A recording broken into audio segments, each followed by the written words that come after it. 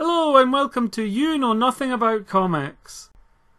Today we're looking at public domain Golden Age comics from the 1940s. They're no longer in copyright, so check them out. Comic books versus the Nazis.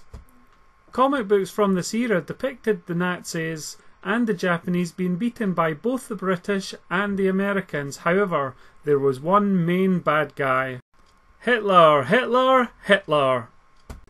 In a propaganda war, he could be seen cowering, making deals with bad guys, or being beaten by our bold heroes.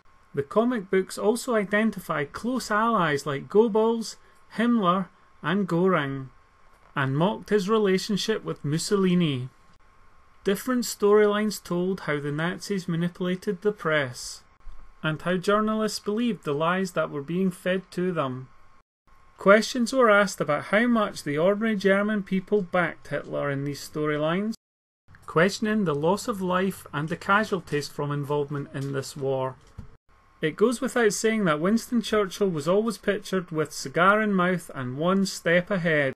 However, the impending terror of war was always around the corner, with Hitler waiting to pounce. Hopefully you've enjoyed this video. Please comment and let us know what you'd like us to talk about in the next video.